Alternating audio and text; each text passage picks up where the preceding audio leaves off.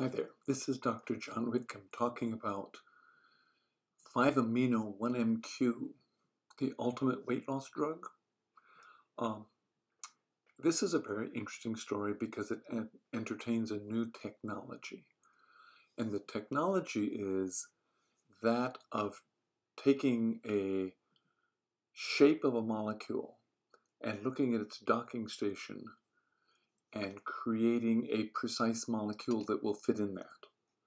And you can do that much more rapidly than you can try imagining 10,000 molecules and testing one one after another and see which one works. So it's called structure guided design and binding calculations.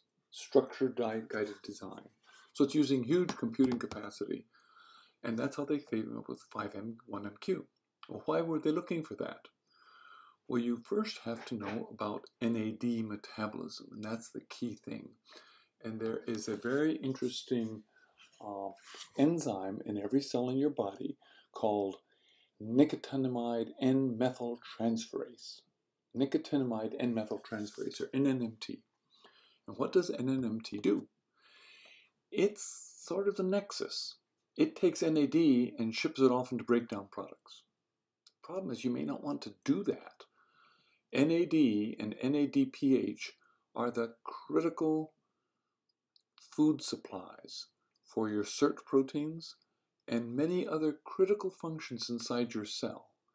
And if you change the balance of NAD to NADPH, you end up storing calories instead of burning calories. So if you have lots of NAD, you create more fuel for your SIRT proteins. Are the they're the proteins responsible for taking care of your of your uh, of your chromosomes and taking care of all your history, your epigenome. So you really want to maintain your NAD supply. You don't want it broken down. So that means you want to block NNMT. And 5-amino-1-MQ is the first enzyme to do that. And it turns out that it actually helps weight loss. In fact, the blogosphere has gone crazy about using 5-amino-1-MQ. What will work for me? Well, I'm a physician who prescribes it, and I've had one patient have a smashing success and three or four not succeed at all. I took it for myself for two months and didn't change my eating at all, and I didn't lose any weight. Okay? It's a new idea, and I want you to learn those new ideas.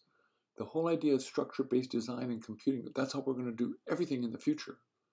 Because we now can actually look at and see the shape of the docking station in proteins, and we can make the lock. We can make the key and the lock that fit together precisely. Fascinating idea. Just wanted you to know it. 5-amino MQ, was it a great weight loss drug? It might be, but in my hands hasn't worked very well so far. But there's a future in all of these things. Dr. John Whitcomb, News and Nutrition. Hope it works for you.